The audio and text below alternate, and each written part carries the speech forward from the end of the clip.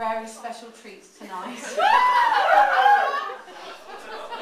I'll give a little background to it. So, my husband, the one with the shades on,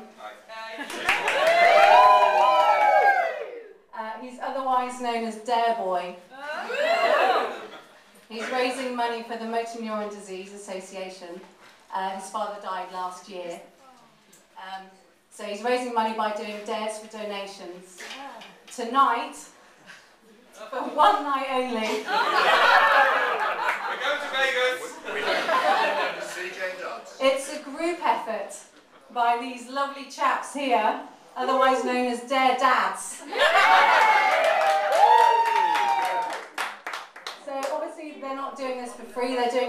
recommendations. You'll see there's a bucket down there and there's a bucket behind over there on the um, table. It's not for throwing up there. And the doors I was going to give that option. so if you would like to dig deep into your pockets and give generously, it's for the Motor Neuron Disease Association. That would be great. Thank you. Okay, fellas, are you ready? Ready. We're ready. Are you ready? We're ready.